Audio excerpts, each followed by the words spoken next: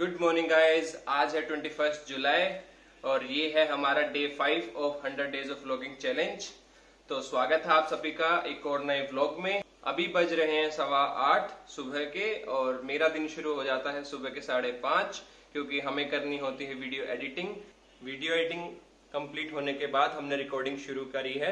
तो व्लॉग आ गया है तो आप लोग जाके देख सकते हो। और आज सुबह का मौसम उठते ही बहुत ज़्यादा खराब है, सुबह से बहुत ज़्यादा बारिश हो रही है। मैं आपको दिखाता हूँ कैसा लग रहा है मौसम। तो गाइज़ आप देख पा रहे होगे कितनी तेज बारिश आ रही है और हमें जाना है जिम तो इस बारिश में कैसे जाएँ, समझ नहीं आ रहा। छत पे भी देखो पानी भर गया है। पर हम रुकेंगे नहीं, हमें फिट होना ही है। तो हम जाएँगे कुछ ना कुछ करके चाहे छाता लेके या जैसे भी गाड़ी तक बस पहुँचना है, उसके बाद हम निकलेंगे। बस एक ही इशू है कि यहाँ पे पानी भर जाता है मतलब सोसाइटी में भी और सोसाइटी के बाहर भी पानी भरा हुआ मिलेगा।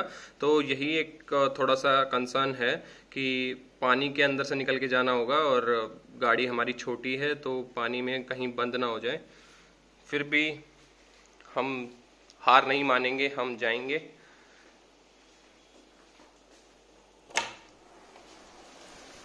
ये देखो, कितनी तेज बारिश आ रही है।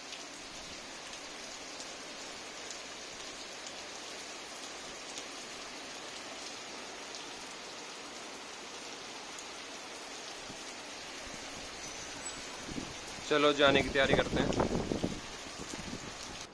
तो गाइज़ हम जा रहे हैं अभी जिम और वो भी हम जा रहे हैं अपने स्लीपर्स में ही, जूते हमने हाथ में ले लिए हैं, क्योंकि रास्ते में जो है पानी भरा हुआ भी मैं चेक करके आया था। तो हमें पहले ऐसे ही जाना पड़ेगा और जिम जाके हम अपने शूज़ पहनेंगे। तब तक हम ऐसे ही भीगते हुए जाएँगे। और हमारे जूते गीले नहीं होने चाहिए।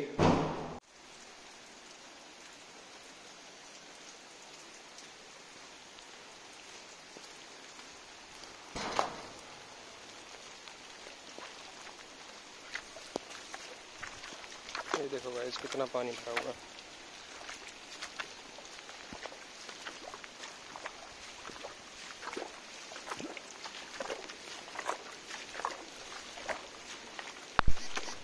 इसी चीज़ के लिए मैं शूज़ पहन के नहीं आया।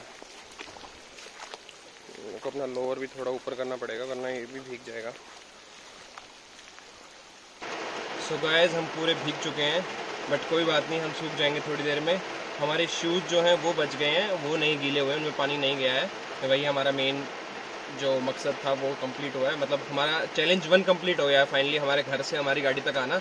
अब नेक्स्ट चैलेंज है यहाँ से जिम तक जाना और वो कैसे जा पाएँगे, वो एक बहुत बड़ा चैलेंज है क्योंकि रास्ते में बहुत जगह पानी भरा मिलेगा और ये मतलब है तो वैसे दो तीन रूट जाने के। एक पे जाम मिलेगा बहुत ज़्यादा, एक पे पानी मिलेगा बहुत ज़्यादा। तो समझ नहीं आ रहा कौन सा रूट लिया जाए। हर हर महादेव। महादेव, क्यों गुस्सा हो अपने भक्तों पे? ये क्या तक मचा रखा है? इतनी ज़्यादा बारिश। चलो, चलते हैं जिम के लिए।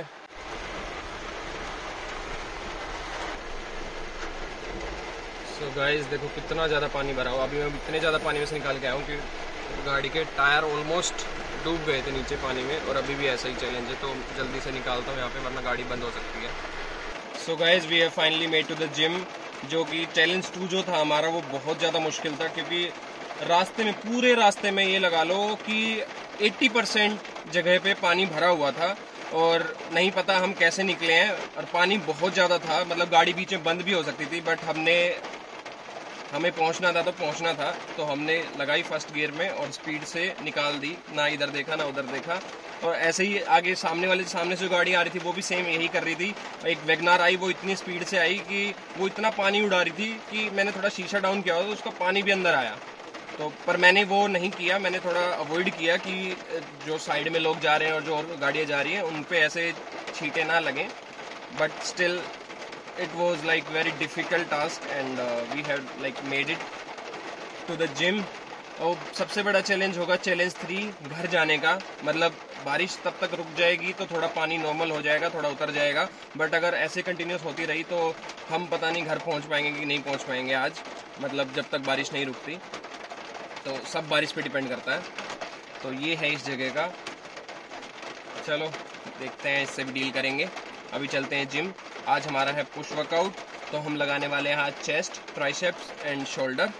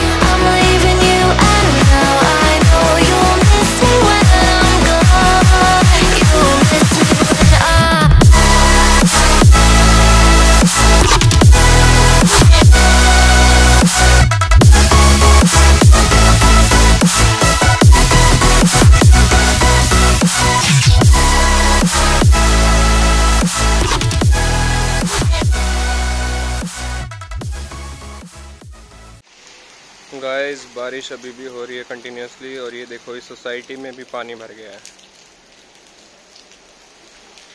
सबको कितनी दिक्कत हो रही है, क्योंकि अच्छे से सीवेज प्लांट जो है वो सेटअप नहीं है इसकी वजह से ये पानी निकल पाए यहाँ से। So everyone is facing the problem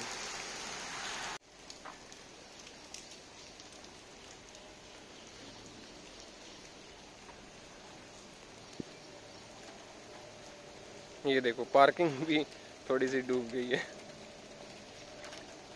पर हमारी गाड़ी सेफ़ है। स्लीपर्स पहनते हैं, जूते निकालते हैं। सो गाइस वर्कआउट हमने ज़्यादा शूट नहीं किया है, क्योंकि हमें थोड़ा टाइमिंग इशू है। और मैं अपनी कार्डियो भी छोड़ के आया हूँ, क्योंकि अगर हमारा जो चैलेंज थ्री है, अगर हम वो कंप्लीट नहीं कर पाए टाइम पे तो मेरी जो मीटिंग है स्टैंड अप कॉल जो होती है 11 बजे मॉर्निंग में, वो रह जाएगी। अभी कुछ साढ़े दस के अराउंड टाइम हुआ है तो हमें जल्दी से घर पहुँचना है। इतने सारे पानी को पार करके तो यहाँ से निकलते हैं और घर पहुँचते हैं पहले। जिस रास्ते से हम आए थे, उस पर तो बुरा हाल है, इतना पानी भरा हुआ है कि देखो, एक बच्चा वो कैसे लटका हुआ है वहाँ पे पीछे। अब इस चैलेंज का क्या करेगा इस ये देखो, ये जो गाड़ी आ रही ना राइट से।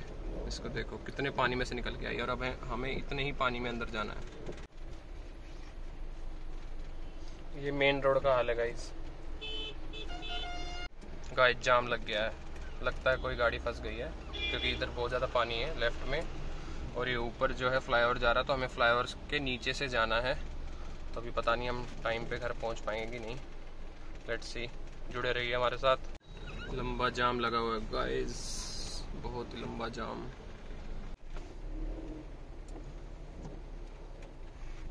पूरा ऊपर तक पानी आ गया।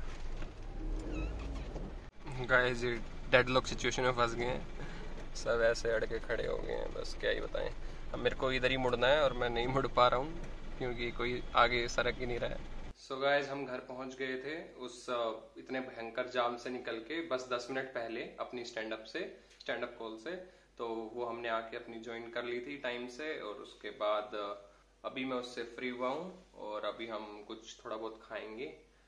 और मतलब यार लोगों को ना बिल्कुल गाड़ी वाड़ी चलानी आती नहीं है। ऐसे मतलब डेड लॉक सिचुएशन ना, एक कोई एक बेकार ड्राइवर होता है, जिसकी वजह से वो गाड़ी बीच में फंसा के खड़ा हो जाता है, जिससे ना लोग इधर जा पाते, ना उधर जा पाते हैं। तो ये चीज़ जो है ना अपने इंडिया में बहुत ही बेकार है। मतलब अंडरस्टैंडिंग तो है ही नहीं। सबको बस पहले निकलना है, सबको पहले जाना है। उस चक्कर में आप और ज़्यादा लेट हो रहे हो। तो बहुत ही बेवकूफ़ लोग हैं, पर कुछ नहीं कर सकते। ठीक है जैसा भी है। A few hours later. So guys, अभी अभी मैं ऑफ़िस का काम करके हटा हूँ। अभी भी पूरा कंप्लीट नहीं हुआ है। कुछ देर के लिए और बैठना पड़ेगा। बट uh, काफ़ी टाइम से बैठा हुआ हूँ तो सोच रहा हूँ कि थोड़ी देर वॉक कराऊँ। मतलब बीच बीच में ट्राई करता हूँ कि मैं बीच बीच में थोड़ा सा वॉक कर लूँ। क्योंकि आईटी जॉब में क्या है बहुत ज़्यादा सिटिंग हो जाती है जिसकी वजह से बैक प्रॉब्लम्स और अदर प्रॉब्लम्स जो है ओबिसिटी वगैरह की प्रॉब्लम होनी शुरू हो जाती है। तो मैं ट्राई करता हूँ कि वॉक करने का टाइम मिल जाए बीच में। और आज हमने कार्डियो भी नहीं करी थी क्योंकि आपको आप लोगों को पता है बारिश का मौसम था और मैं टाइम से घर नहीं पहुँच पाता। इसलिए मतलब मैंने यही आ, सोचा कि जो कार्डियो में सुबह नहीं कर पाया उसके लिए उसके बजाय मतलब मैं अभी थोड़ी देर वॉक कर लेता हूँ और अपना कुछ कैलोरी बर्न और कुछ अपना लाइक स्टेप्स काउंट कंप्लीट कर लेता हूँ ताकि थोड़ा बहुत हेल्प मिले। अपना जो है टोटल मतलब कैलोरी बर्न गोल जो है हमारा आज का पूरा करने के लिए। तो वही है, जल्दी से चलते हैं और सबसे पहले थोड़ा सा वॉक करते हैं। तो गैज़ मौसम बहुत अच्छा हो रखा है वॉक करने के लिए। मतलब ऐसा मौसम सारा साल रहे तो मज़ा आ जाए। बस बारिश नहीं होनी चाहिए। बारिश से हमें प्रॉब्लम है। बारिश से मतलब वैसे कोई प्रॉब्लम नहीं है। प्रॉब्लम बस यही है कि कोई भी मतलब हर जगह पानी पानी भर जाता है, कीचड़ हो जाता है, जिसकी वजह से बहुत प्रॉब्लम सफ़र करनी पड़ती है। सबको कपड़े गंदे होते हैं ट्रैफ़िक रुक मतलब ट्रैफ़िक जैम लग जाता है लाइफ स्लो हो जाती है, और सबसे एक और बड़ी दिक्कत है कि ये पता नहीं इलेक्ट्रिसिटी वाले क्या करते हैं, जैसे ही मतलब बारिश आएगी और ये इलेक्ट्रिसिटी कट लगा देते हैं। वैसे पॉइंट तो उनका भी जायज़ है जो वो इलेक्ट्रिसिटी कट कर देते हैं, क्योंकि क्या होता है, बारिश से पहले ना थोड़ी आंधी आती है, बहुत तेज़ हवाएँ चलती हैं तो उससे चांसेस होते हैं कि वायर्स वगैरह टूट सकती हैं, कुछ इलेक्ट्रिसिटी के जो पोल हैं वो गिर जाते हैं तो उससे क्या होता है कि अगर पानी, बारिश आएगी और पानी होगा सड़कों पे तो किसी को मतलब इलेक्ट्रिक करंट ना लग जाए उस पोल की वजह से। तो वो सही करते हैं ये चीज़ तो बट स्टिल लोगों को सफ़र तो करना ही पड़ता है। मतलब कुछ ऐसा सिस्टम होना चाहिए जिसकी वजह से मतलब ये सब प्रॉब्लम्स भी ना हो और कोई इलेक्ट्रिसिटी पावर कट भी ना लगे और सब कुछ अच्छा अच्छा हो जाए। बट सब कुछ अच्छा अच्छा हो जाएगा तो फिर ज़िंदगी में लाइक कुछ फन रहेगा ही नहीं। तो चलो, ये तो जीवन का सार है। ये सब चलता रहता है। अभी हेलीकॉप्टर आ रहा है पीछे। अगर आप देख पा रहे हो तो। It's an army helicopter guys क्योंकि यहाँ पास में ही ना चंडीगढ़ का एयरपोर्ट है। तो आई थिंक और पीछे जो है आर्मी का एक बेस भी है आई गेस क्योंकि मैं जब एक सोसाइटी देखने गया हुआ था तो मेरे को वहाँ के ब्रोकर ने बताया था कि यहाँ पीछे आर्मी का एरिया है तो आई थिंक वहीं पे जा रहे हैं। और एक और आ गया गाइज़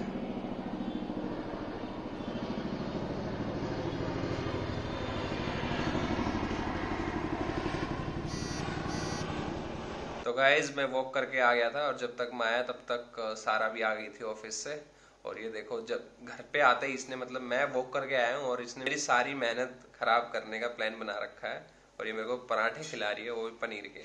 तो साथ में प्रोटीन भी दे रही है और साथ में फैट भी। ये देखो गाइज़ देखने में तो बहुत बढ़िया लग रहा है। खाने में फोकस करो। देखना बाद में इसको फटाफट चलो। चलो गाइज़ खाते हैं जल्दी से। सो गाइस डिनर भी कर लिया हमने और बाकी के हमारे जितने भी काम थे आज के वो भी निपटा लिए हैं। तो अभी हम जा रहे हैं सोने। आज के लिए इतना ही। Please like share and subscribe और कमेंट करके बताना कि आपको कौन सा पार्ट इस वीडियो में या इस पूरे ब्लॉग में क्या अच्छा लगा। तो आज के लिए इतना ही रखते हैं। Tata bye bye